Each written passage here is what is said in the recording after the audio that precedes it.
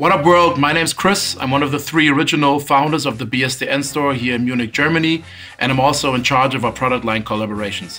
Why the hell am I telling you this? Because I'm here today to talk about this bad boy, the 84 Forum High Jugoplastika edition that we recently launched with our good friends at Adidas. The concept behind the shoe was to show our love and appreciation for heritage European basketball culture, specifically for the 89 to 91 Jugoplastika team, a team that won the three-peat and can definitely be considered an absolute European powerhouse. My colleague Chris and I recently had the big honor to sit down for a Zoom interview with two absolute legends that played on this Jugoplastika team. But not only did they play on this Jugoplastika team, they also both went on to have esteemed NBA careers. I'm talking about Hall of Famer and former Boston Celtic, Dino Radja, and the legend himself, the spider from Split, Mr. Toni Kukoc, who played for the Chicago Bulls. The conversation shows just how passionate Toni and Dino are about their former days at Jugoplastika, but they also give great insight on what it meant to be a young European basketball player in the early 90s in the NBA. On that note, we really hope you enjoyed the interview as much as we did. So sit back, relax, and enjoy the show. So, Toni, Dino, great to have you guys on the call. Um, just a brief introduction of how this call actually came about. Um, we recently got approached by the good people at Adidas uh, to do something special around their Forum basketball shoe model, which is obviously one of the iconic uh, basketball models um, of the 80s. Uh, Dino, you have it sitting there in the background. Um, and us being a European cultured, uh, culturally and, and, and situated um, company uh, with deep roots in basketball culture, we wanted to do something really special and we wanted to pay respect to, in our opinion, one of the greatest powerhouses and dynasty uh, dynasties to ever bless uh, the hardcourts of the European basketball leagues which in our opinion definitely is the 89 uh, to 91 uh, Jugoplastika team. So to have you guys both here that both played on this team uh, and to get some firsthand insights on on uh, how that era actually went down is obviously amazing. So thank you much very much for joining us today. Thank you guys for having us. So the reactions to these shoes, especially on the Balkans, were off the chain. There was so much feedback, all of it positive. Maybe you guys can tell us what your first impression was when you first saw the shoes, and maybe also tell us what the Jugoplastika team still means for the region today. Who's going to go first? You go first. Okay. Uh, first of all, uh, when I I have to be honest, when I saw it first, I thought somebody uh, did a Photoshop. Uh, then, when when uh, things start developing, I I realized that um, what a great honor um, we have by a huge company as Adidas uh, giving us uh, respect they are. And um, like next day, I got overwhelmed in my Instagram and Facebook accounts uh, with people. When, when, when can I get it? Where can I get it? What is this? Uh, how can I get it? How much are they? Uh, I got like a million messages, people asking when, where, how much. Uh, it's unbelievable number of uh, contacts I have lately. Uh, people asking different kind of questions. No, no, I I agree. At first, I thought that that was a joke. Somebody put like a a, a car chain or keychain that that with the, with the shoe just just for fun and. Uh, was kind of teasing us about the, the, the old days and, and to, to, to start being nostalgic about stuff. But when I heard that it was true, that actually uh, uh, the, the, the, whole project came alive, I agree with Dino. It's, it's a great honor that, that somebody after all these years is giving us this much um, that much credit for uh, for for basketball we played uh, at the time and honoring us with a with a shoe these days. Uh, although I have to tell you my story with that shoe, I, I think that the, some people are going to laugh, some people are going to think it's uh, it's important. But uh, when we started playing basketball, the shoe was really hard to get, and uh, I had to actually wait for my coach to to to kind of give me his pair of shoes. He wore those shoes almost like two years, and once he felt that he cannot wear them anymore, that they all worn out, he actually gave it to me, and I had to put some cardboard inside so the shoe doesn't run out of the the uh, the, the, the the the bottom. But to me, it was the most favorite shoe I ever had. it, it, it is the greatest. Uh, I would besides sleeping in that shoe, I would practice. I would go to school. I would go the, in town. That, that was like the, the, the greatest pair of shoes I, I, I, ever got.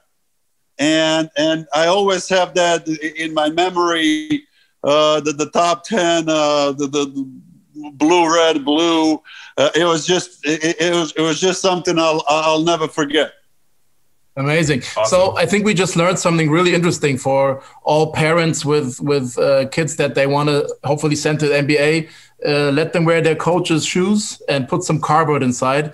Uh, it's your highest chance of of uh, uh, winning an NBA championship at that point. I, I don't think that's the, the sorry. Go ahead.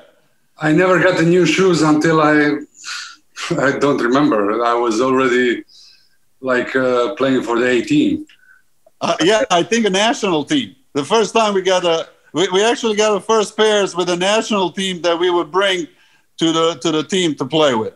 Yeah, my first shoes. I remember they gave me uh, the the worn shoes of, of Jerkov. It's a guy who played for the for the, for our team. He's uh, he was a national team player who is about 10, 15 years older than me, and they gave me his old shoes and I remember coming to practice, watching at the shoes for first five minutes of the practice. And, and, and it was unbelievable, uh, you know, honor to, to get them. I was the lucky guy to get the, the, the one year old old uh, worn shoes. Was it at least in your guys' sizes? So your coach had the same size. yeah, size? it was my size, yeah. Yes, yes, yes. That was uh, that, that, that was okay. That, that was really so. So this this uh, the, the gentleman uh, Zoran Grasha, who we know who we know well, and he was actually our coach at one point. And when we were juniors, he always laughed and he tells me if it wasn't for my shoes, you would never become a basketball player. um, guys, my next question would be the the the 89 to 91 Yugoslavia team is definitely, as I earlier also said, at the definition of a European dynasty powerhouse. Um, how did these years impact your guys' career going forward? Also, speaking of scouts back in the days, etc. You go first now. I'll go. okay. Well, obviously, it was uh, it, it, was a great time for us. Um, we had an awesome basketball team. Uh, everybody really played for each other.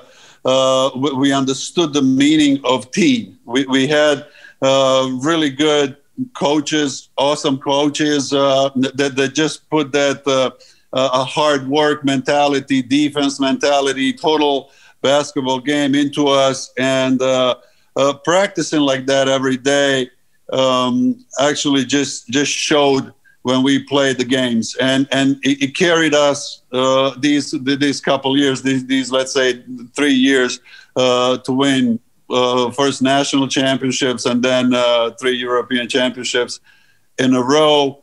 And um, well, at that time, the, the, the NBA scouts the, the started to, to come and, and look the European uh, finals and uh, obviously uh, uh, European championships with the national teams, Olympics and World Championships. And I guess that was one of the main reasons how, how our names got to the NBA. You know, want to add? You know, uh, when everything happened, in in in eight, since you know 87, 88, 89, 90. Uh, I, I don't think we realized uh, really how how big that team was. Uh, now watching from a safe distance, I can tell you exactly like we're like Beatles. Uh, wherever we go, people were um, waiting us with uh, with you know applause and they they boo us a little bit but not too much you know people like us because we play nice basketball. We play real basketball game you know.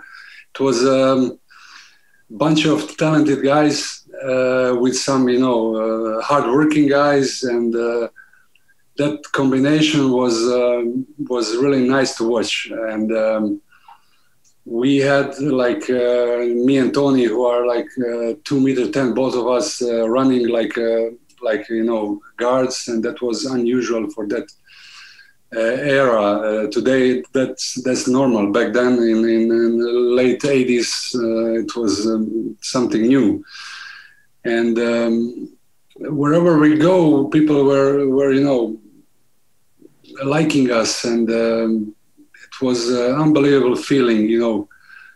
Um, to be part of that uh, team, and uh, we had so much fun so much fun playing and, and being friends and uh, being friends even today with uh, with all of those guys and um, I'm really you know proud to be part of that of that that team.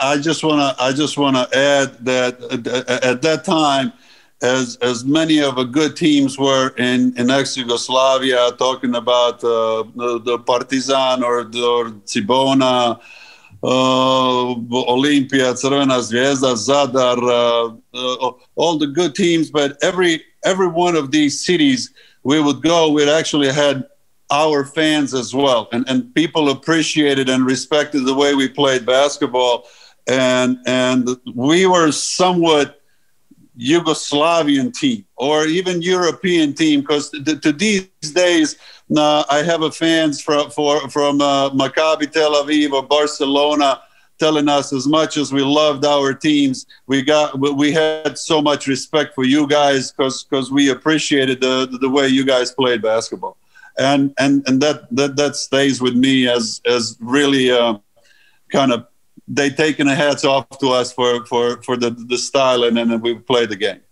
Do you see parallels to your years in Chicago then maybe? I think where it was also a highly respected team. Obviously. Yes, uh, absolutely. I, I agree because because going to the to the NBA from this kind of environment, you're hoping that that can happen and repeats itself. But but uh, on the back of my mind, I go like I'm going with the new guys. I, I don't know none of these guys. I, I didn't grew up with the practicing playing with these guys. So I, I, I didn't expect it to be this good as it was with, with Plastika.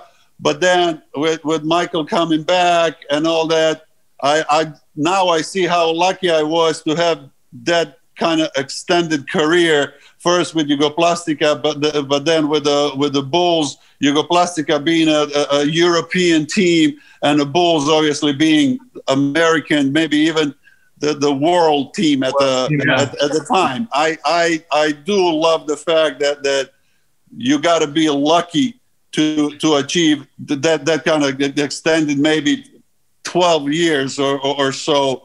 Well, in, my career, that was I was lucky enough to have these awesome teammates, the, the, the awesome coaches, and and kind of put the mark on my career. Yeah, definitely. That's an amazing career. And um, because you also mentioned it, this is actually a question I had lined up for later, but um, it fits actually quite well here. I personally was lucky enough to see basketball on top European level, and also uh, I went to some some uh, NBA playoff or even final games. I think a lot of people over here in Europe don't have the chance to witness both. And I think there's a very distinct gap between European fa- fan culture when it comes to basketball and the NBA fan culture. And also, I think the atmospheres that you have in the uh, European stadiums or the, the uh, arenas in the NBA. Um, could you maybe explain a little bit uh, to the viewers how the difference of, of playing in a rough Euro- European environment versus playing in a rough NBA environment? Very much different there are places there are places in Europe where you fear for your head. Exactly, that's what I was aiming at. I was. There are places, there are places really that that you feel. I mean, it's all in your head, uh, but but there are there are players that get really very much affected by by playing on the road in certain places, like uh, in um, in Thessaloniki, in Greece, in, in general in Greece um, and then like in Zadar, Čačak, uh, Šibenik in a small, small gym where when you are taking the ball out of bounds, they are really, you know, grabbing you, spitting on you, and stuff in, in, in NBA arenas are uh, impossible, unimaginable to do. Yeah, we actually, I, I, I recall if you if you remember, Dino, we played I think it was in Greece when a bottle of red wine splashed the floor it was like five minutes before the end of the game. We were up by 17 or something, and, and a bottle of red wine hit the floor. I remember actually, I, I played for Benetton, but we played in Rome. And, and I got hit by the coin in the middle of the fast break. I got hit by the coin right in the middle of my eye. Next thing I know, I'm in a hospital. They're checking my eye. Uh, that, that, there's impossible for that to okay. happen in, the, in the NBA. Let me tell you a story let me tell you a true story. Like, like in Greece, Greeks are crazy completely.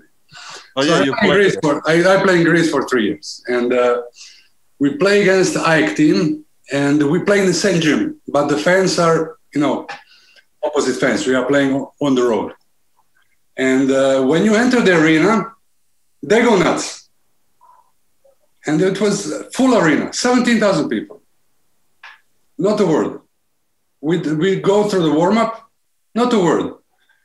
And we players are like talking in between us, like, what's happening? What's happening? What's happening today? Are they protesting something against their own team? Are they? What's going on? And we didn't know. And, and you know, it's uh, Greeks. You don't understand uh, mostly what, what they are speaking. So we have introduction, and now you have three minutes and then uh, one minute before uh, the, the, game, referee blows the, the, the whistle, and you have the last meeting.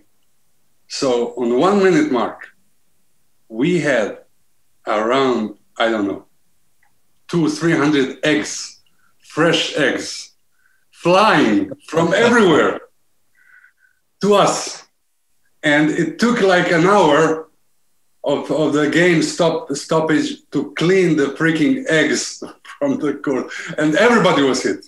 Everybody in the head, in the shoulders, in the back, in the feet, everybody because it was flying from everywhere. It was unbelievable. this is so interesting because um, you know the pres- if you talk about the stereotypes i think back in, in, in your guys days it was even more than it is today but of the european coming to the nba oh does he have the mindset? Is he strong physically or mentally strong enough to play in the league? All this blah blah blah. And then i'm thinking like hey guys like uh, dino had like uh, 200 fresh eggs thrown at him and the worst thing you had to encounter was spike lee on the sideline. So how like how can that be that that the perception is always that uh, they're not the europeans coming in are not mentally tough enough to play in the nba i had i had byron scott you know the guy who, who won the titles with the lakers with the magic. He played with me one year in uh, in greece and he left the game at the ha- halftime and he said these guys are crazy. I have a uh, three kids and a wife at home i, I don't he left the game. He didn't. He, he didn't want to play. I remember the first time, the, one of the first time we, we played in Čačak. I think it was in Čačak. They warned us about the umbrella, and and we, we were guessing what what the umbrella is. And actually, right in the middle of the court, there was this old man that would sit right on a, on the sidelines, and he would try to hook up people players with umbrella the, the uh, if if we were running if we were running on a on a side just to help his team or I remember we played other plays that they would purposely leave a door open so one side of the arena would freeze. And and it, it was it was so much difference in, in, in, playing on one side of the court that was on the other side of the court, and they would try to put, freeze your bench so anybody coming off the bench would just be frozen and not able to run or jump or do anything. Uh, the, so all kinds of tricks back back then were used to to help their Remember teams. when they cut off the heating from our bus? yes,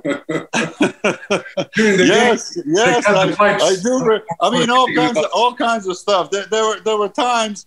Uh, uh, in, in, our league, the, the, the, we were losing the games or something like that. Somebody would just turn the lights in the arena and it would be like a stoppage about 30 minutes. The people wouldn't know what's going on, what's happening, and then we come back. The, the, basically, the game begins uh, again. That that 15, 20 point advantage that the team had meant nothing at that point because they were scared what's going to happen. Are they going to actually get out of the place alive? And then we just used it in our advantage and won a game. So it was always these kind of tricks back then. And and when you come to the United States, the, yes, there are more people, but you, you're not going to get scared of somebody yelling uh, defense, defense, or clock going faster and slower depends of the of, of the score. oh yeah, yeah, yeah, yeah, yeah. That too. I mean, it would be like uh, it would be like three minutes 58 59 they would go like three minutes zero one and instead of 259 it would be one 159 so they would skip the whole minute uh, uh, on a on a scoreboard if if the the team was winning i mean all kinds of stuff but that was back then and and now if that stuff happened to to to NBA, it would be considered as a terrorist attack. yeah, but it's it was it was a home that that's that's the true home court advantage. It's a beauty. What, so, what so you had to fight. You had to fight for a home court advantage, and once you had a home court advantage, then uh, you really had to use it. Never want to give it away. But, but th- those are the fun, good old, good old days that that everybody was using. Everybody appreciates right now, but so uh, what's scarier? Was, what's scarier, having to play overtime in Panathinaikos or two days in Vegas with Rodman? Uh, uh, there, there's no question. Um, uh, I, I, would say that the two days with Dennis are interesting. Okay. They're they're fun. They're a lot of fun. But but if you're not experienced with that, if you're not used to all the stuff, he he, he wears you out. playing playing and playing over there, you really not sure if you're going to get your head alive out of the locker if you win. And, and we had actually cases when we would stay in the locker room for like 45 minutes, an hour before we're sure that we can make it from the locker room to the bus and be escorted to the, uh, airport without people trying to break the, the glass the, uh, on the bus and then they were throwing rocks and stuff. But at the time it was a it was a part of the atmosphere.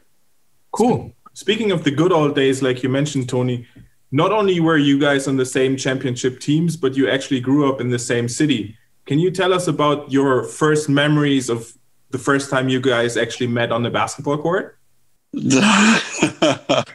He was this thick when he came first time I, I, lit, I literally, they, they, were like opposites, opposites. I, I was always uh, like alive, always outside. I was like chasing lizards, uh, uh, the, uh, always playing soccer, doing all kinds of stuff. So, so my dad, actually, my dad and one of the coaches, my our first coach, uh, said like, okay, you're tall, you, you, you, you kind of athletic. Why don't you come and play basketball? And on the other side, you, Dino, tell your story. uh, the same thing. I, I grew up uh, during one summer a lot, and my mother told me, "Listen, you grew up a lot. Why don't you try basketball? Because you, when you're a kid, you know, you try to do any kind of sport."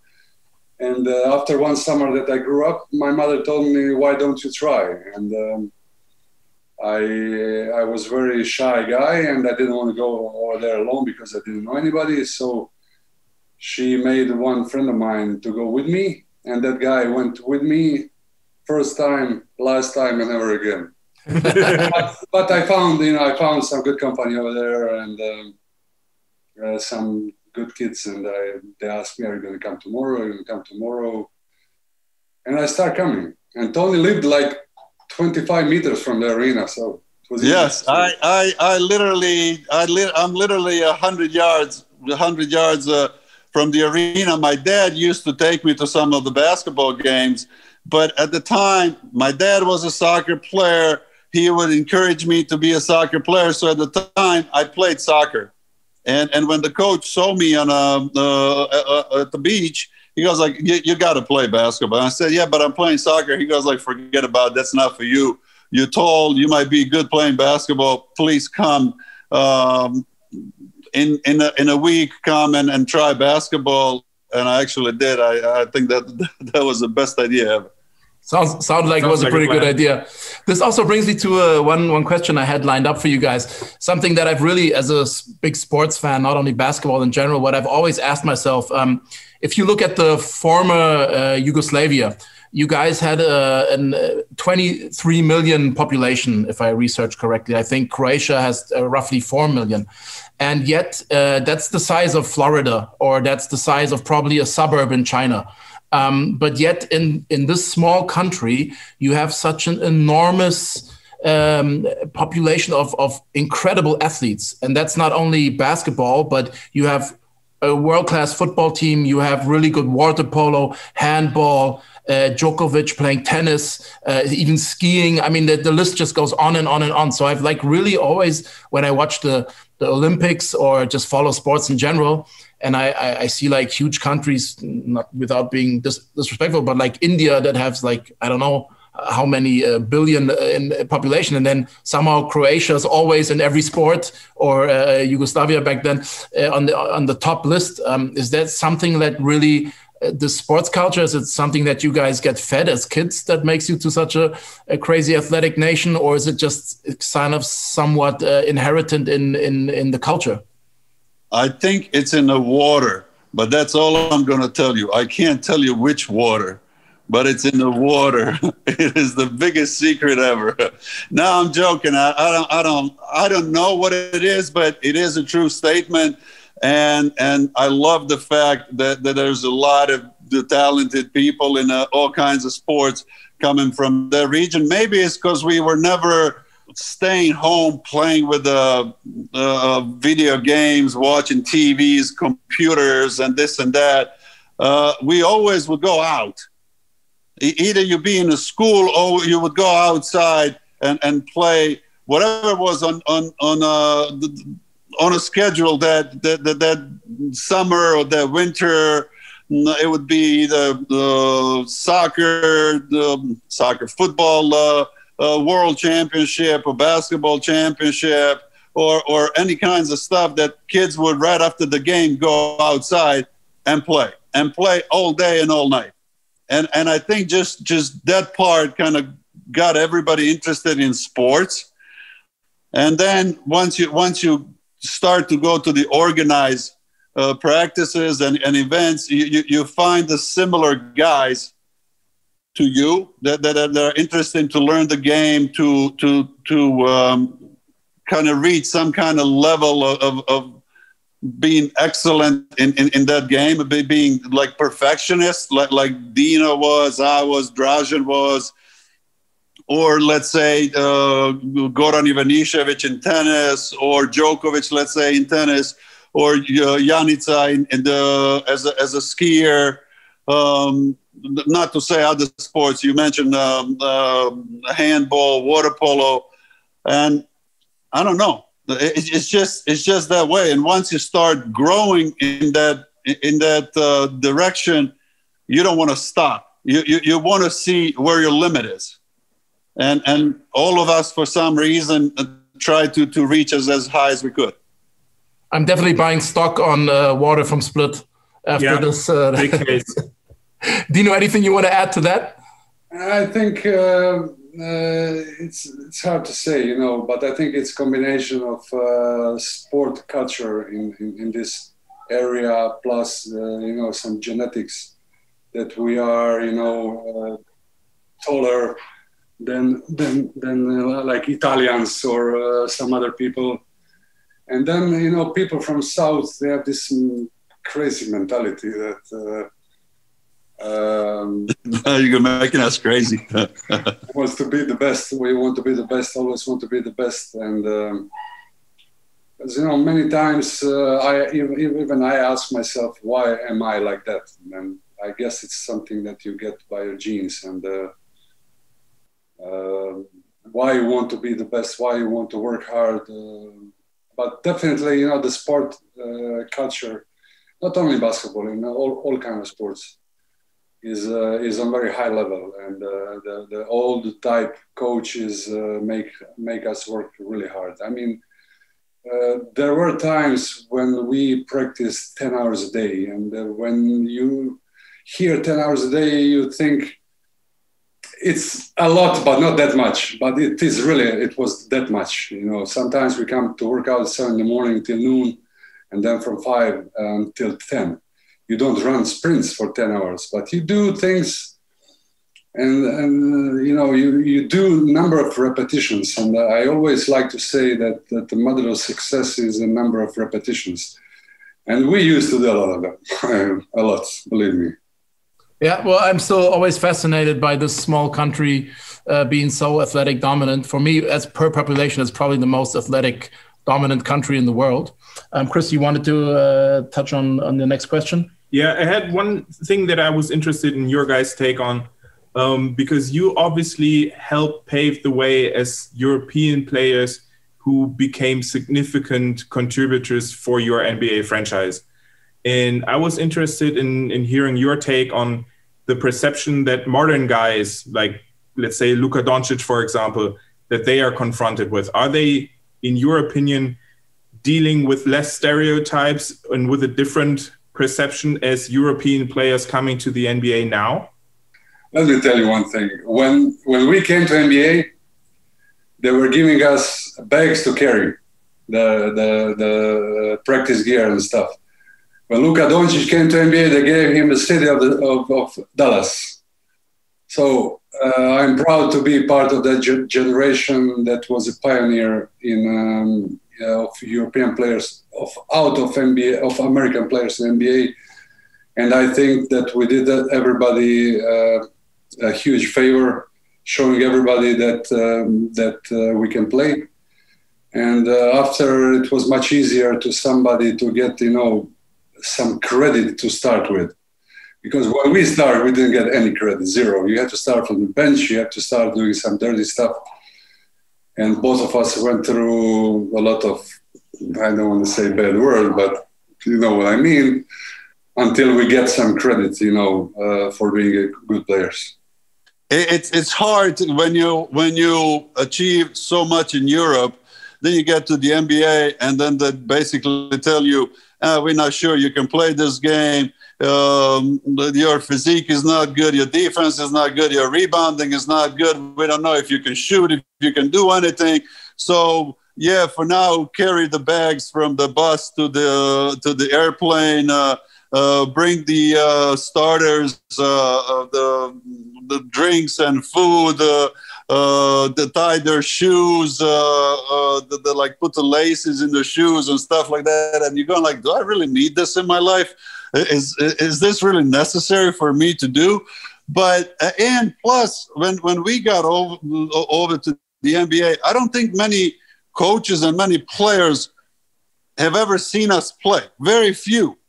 And, and, and now Doncic, uh, when Doncic came over there, there, there are so you can go on YouTube and see pretty much every one of his games or Instagram. So the Instagram, anywhere you want to go. So so you basically know Doncic and his game up and down.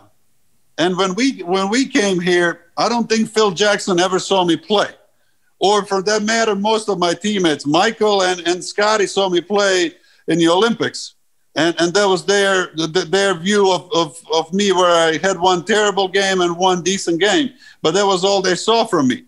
So us going over there, when I came to the NBA, um, they were trying to switch me from the small forward, point forward, to, to play a four spot, because because they were in need of a of a four spot, and and so we we needed a good, uh, I'll say one and a half, two years of, of adjustment to our game, what we played home to what we what they were asking from us to play in the NBA.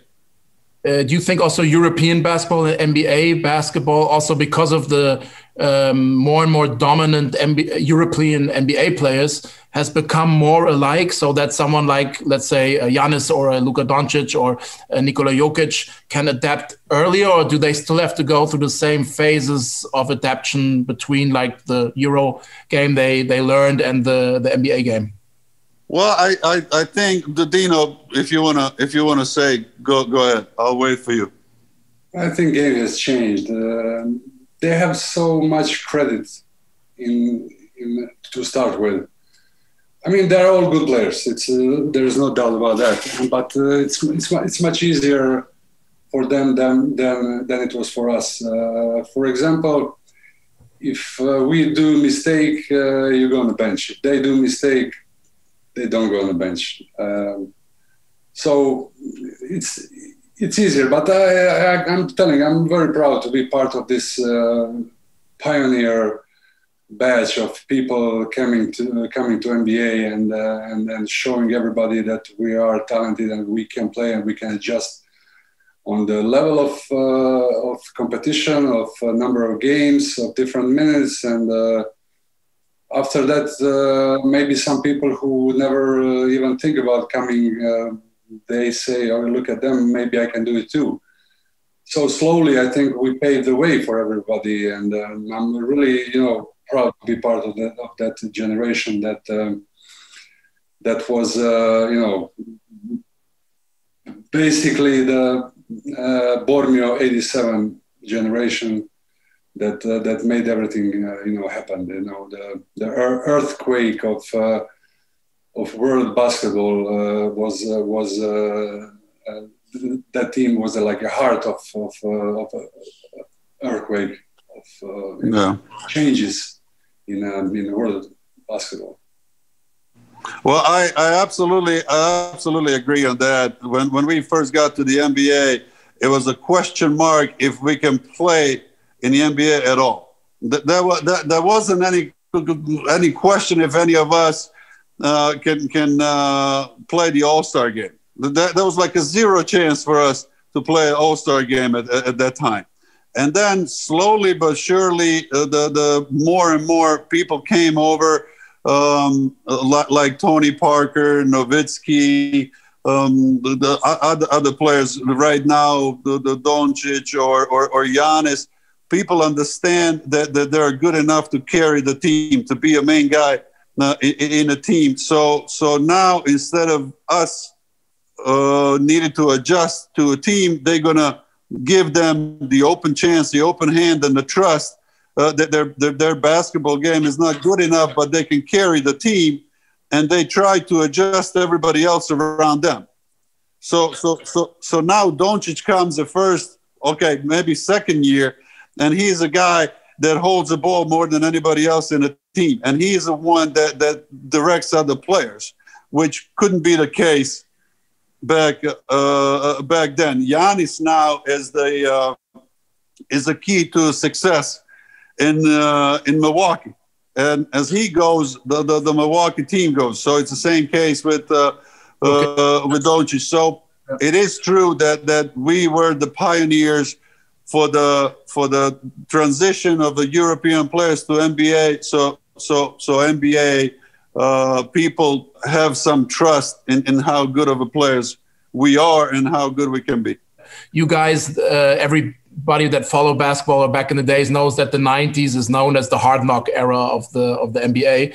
Uh, you had hand checking and you had uh, crazy teams like the Detroit Pistons that used to close clothesline people and stuff. So uh, speaking, because you guys are definitely both men of peace, but let's just say it's 2 a.m. in the morning and you're coming out of a, a pub in uh, or a bar in, in Boston or Chicago. Uh, who's your your guys' dark alley team if some punks are trying to jump you after that? So who, who would the, be the three guys from the era you played with or against uh, that would be your running mates uh, after after the bar? Me, Rick Mahorn, Xavier McDaniel, and Ivica Duka. Okay, that was fast. It was really fast. yeah. Ivica Dukan, Ivica Dukan, it's our favorite. Sorry, Ivica Dukan, it's our both favorite because he used to do that for us when we first started playing. So we were kids, 17, 18 year old, and he was our teammate. He's actually well known as the as the international scout for the Bulls. Mm-hmm. Uh, still, he's, he's still the, working for the Bulls, good, good, almost 30 years. And and but at that time, he was the one when when team couldn't beat us, that they would send their bad players and they would try to beat Dino and me as a kids, and he would be the enforcer that would that would beat them back and say like, if you again touch these kids, I'm coming to your house and I'm gonna beat you in front of your wife too. so so that's why we would we're gonna take him the, as, as number one, but but the, the, I would everybody says that Charles Oakley was one of the the, biggest enforcers in, uh, in in the NBA. I know that from from Scottie Pippen. I know that from Michael because they always wanted to have him. I played against him, and I know how bad he can hurt people. So, but but it, it, he, I, I, would I would take Dennis because Dennis in, in, in, his in his mind was always ready to start some kind of fight, some kind of crazy stuff, and all that. And obviously, the, the Michael and Scottie were, were were ready for for for that as well. But every every at that era, every team had their own enforcers. Own, uh, guys, you, you can go from Indiana to, to I call them Davis brothers. Yeah, the Davis uh, brothers, amazing. Or, or, you or New York or uh, uh, Miami for the Alonzo Mourning and then PJ Brown. Uh, Utah obviously had Karl Malone. Uh, um, so so every team more or less needed to have at that era needed to have. Not to mention Detroit Pistons. It was just that kind of the era that that teams were were uh, forced to have two or three guys ready to fight at all time. Right now, uh, all the good players, all the talented players are actually way more protected by the league and, and, and by the referees. So there's no way something something like that will fly in, in today's basketball. Although I did think maybe in the in the bubble, it, it got a little rowdier than uh, than I was used to watching. Uh, especially also for for Luka, I think um, he had to take a, a, couple couple hits at the end of the day. Probably nothing like uh, like you guys had to go through, but believe me, if they play in that era, it will be much different. much different. That era was brutal. I always think maybe that uh, I don't know if you guys see it the same way. It could be on an international level uh, speaking of the 92 Olympics, that um, the basketball world was maybe robbed of, as I would call it, the greatest game ever to be played. I think you guys know what I'm aiming at. Um, I, I, think I would have so loved to see the, the former Yugoslavia team uh, lace up against the dream team. And I, I, just, now that I have the chance to ask you guys in person, would this have shocked the world, this game? Um, or let's say you guys, if you would have had Vlade and, and Co at your side, uh, in in uh, which what most probably would have been the finals. Um, what would be your take on on on this game that unfortunately never was played?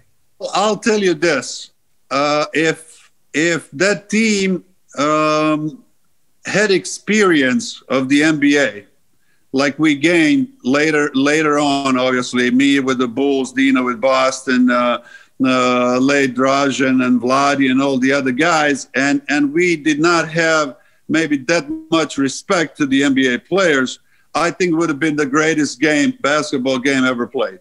Agree. Because uh, my opinion is, as as physical as they were, as as uh, athletically, let's say, dominant, we had way more time spent together and, and knew each other to the to the T. So I think that would play in our advantage. And in a one game like that, um, I I wouldn't I wouldn't say that that we had no chance to win a game like that. But need, we needed to have that experience in, in playing in the NBA because we would just approach that game differently that that we did back then.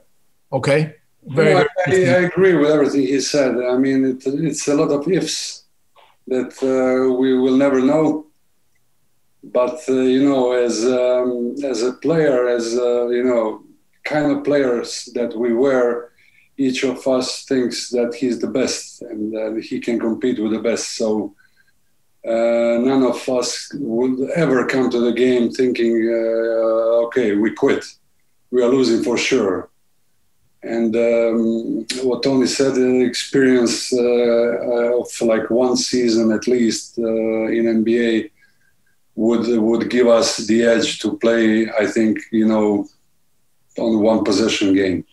Well, I always say if I had a couple of wishes free in my life, I would love to see Bob Marley live, which I never did. Still not late. We all alive, most of us. And I really want to see this game, uh, uh, former Yugoslavia versus uh, the Dream Team. I think it would have been one definitely for the history books and the ages. Um, guys, I'm going to take one, uh, uh, just a quickly a different topic because what we do here, obviously at BSTN every day, is uh, we're a retail store that caters to a uh, let's say very educated fashion and sportswear customer And um, also something I've always been interested in, or at least in my general perception, is it's obvious that that let's say swag and style play uh, a huge part in the American basketball culture. I think this dates all the way uh, back to the to the 70s, where you had guys like Dr. J with the afro, or or Slick Watts, who already um, uh, wore his headband slightly crooked, just to kind of give that extra element of expression on the game. How was it for you guys back in Jugoplastika? Was style, on-court fashion really anything you ever thought about? Or was it more like, hey guys, give us a pair of high tops, maybe even the coach's high tops and some socks and let's roll out and play? Or were there certain other players from Europe that you look up to in terms of style? Or was it just like really whatever, let's go? No, man, we just love the game.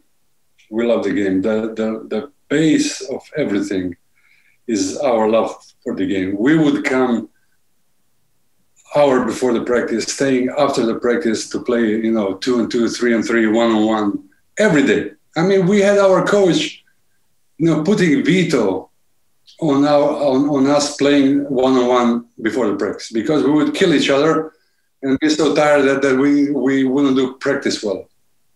We love the game, man. We love the game. That that's that's the key of everything. Toni? No, uh, our arena, our arena, the, the, the one at, at Gripa that we first started, not the big one that we played later on, the Europe Euro League. Uh, our arena could fit what 3,000 people, maybe 4,000 people at the at the most of the time. So we, as Dino says, we would we would be there eight nine hours a day. So as soon as you come into arena, we would try to shoot the ball literally from everywhere we would go up to the stands and shoot the ball from the stands, from the half court, from as, as soon as you as, as you enter through the door, uh, uh, from the corners, from the bathrooms. Uh, it, it, was just the way how to how to score, how to like. It wasn't just a court; it, it was the whole arena was a place of practice. And and uh, that that was that was fascinating. When I when I tell guys that we that we actually did practice and and and and our coaches insisted on knowing and, and doing the fundamentals of the game over and over and over. It wasn't important if you were uh, 180 uh, or or 210 in in the meters, which would be five feet or seven, eight feet, whatever. They wanted you to know how to dribble, know how to pass, know how to shoot, every single detail of, of basketball they knew that they wanted everybody to know and understand. And when you have a five players like that on the court it's way easier to to play the game to to uh, move the players around. The and, and that's the one thing I, I always think the European basketball is is was better than than NBA just from a standpoint in, in NBA you have one maybe two guys like that in a team and everybody else is so-called specialists where he is a, either just a shooter or just a rebounder or just a defender. Um, in, in, in european basketball you, you have 10 guys in a team that practices the same way knows every position uh, knows how to adjust himself the, the, the little shorter guys can play one two three maybe four. The, the taller guys can play uh, three, four, five at the time. So it's way easier to, to find the system and adjust the players to the system than that then come and play and, and, and call every position because you have a standard point guard, you have the standard small forward, the standard four, standard fives. And and that's where the game is actually going even now. Yeah. So do you feel like the, the NBA in a way has gotten a little bit more European recently in terms of more positionless basketball, switch everything, that kind of way? No, I don't think it's. I don't think it's. It's uh, just NBA. I think that's a global basketball right now. Everybody plays with the with the with the five guys almost a similar size. The the, the guys that can uh, uh, switch every play. The guys that, that most of them can can run as a point guard and, and run the team, run the system um, uh, the teams can play zone because there's actually not not big of a difference who's who's front, who's back, since they're all similar size. So I think the whole game it's going that way. It's basically got kind of turning into a street basketball. I think that's super interesting because if you if you take a look at the shoe that we designed, um, that was also really my inspiration was like the purity and the essence of the game that that the European culture and I think back then even more brought to. That's why if you look at the shoe, it has like we tried to choose materials that are had kind of like that that vintage OG, OG touch. Uh, the the tongue is slightly yellowish. Uh, the sole is slightly yellowish. We use gum rubber on the sole simply because gum rubber has the best traction. We didn't want to put any flashy elements uh, on it. it. It was supposed to like really represent the purity of the the Jugoplastika basketball, and I think that's what we did a pretty good job on, and, and why that related back uh, to, to the community so well. Yeah, you guys did a great job, and we honored the, the, the, about that stuff. The shoe, the shoe is awesome, you're absolutely right. It represents the the the team, the old days, the understanding of the uh, of the game. Right now, uh, and I don't know if that's good or not. In, in our days, you would actually have to break into a shoe in order to wear a shoe. And right now, the, the people maybe use a shoe for five practices and one game, and they throw that pair and they play in the next pair. So I don't I, I don't want to say which way is right or not. Uh, in our times, we absolutely had a, a respect and love for that shoe. Well, it was like the like the like the greatest thing. It was like a totem of of of love appreciation for basketball to have the shoe.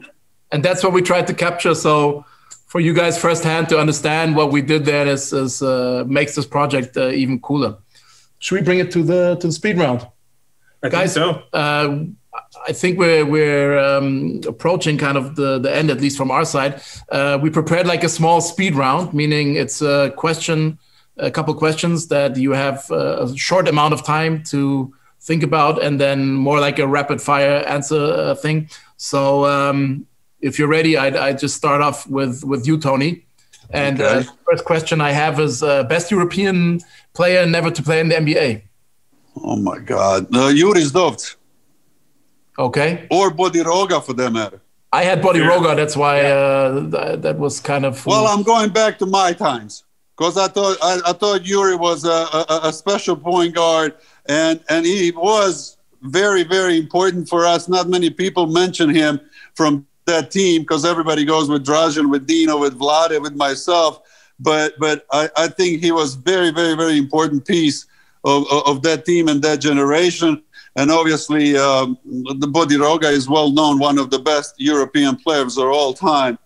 So let's say let's say two of them. Not not to disrespect. I don't know. You you you you can many you uh, go wrong if you don't say Galis or. I was just about to say Nikos Galis. Uh, there's there's. Yeah, uh, yeah. I, I, that's exactly why I said these are not good fast rounds because you cannot disrespect and forget about so many good European players. It, it's only, and I'm going to always go back first to my times, guys, yeah. then then look before and after. It's it's the only question like that, so you're you're free from now on. Dino, you want to add to that? I think uh, I, I, agree with Toni. Uh, Jure was the glue that put us all together. He was really a special guy. I, I really uh, he's he's one of my my my top uh, point guards that I ever ever played with. So Dino, question for you, maybe easier uh, to answer: uh, or Jack Daniels? none, none of them. None of them. I don't like. I, I, if I have to choose, if you have to, if I have to choose Jack Daniels, I use Slivovitz for the uh, uh, when when a water cooler freezes. Um, Dino, bird or magic? Bird, of course. I, I think any other any other answer you would never be allowed uh, to come back. No, no, no. I, I, really, I really think Larry was a special player. Magic was too, but Larry was a special player. I met him. I practiced with him sometimes. So, building on that, Toni, uh, you know what's coming now: uh, MJ or LeBron. uh, who's the second one?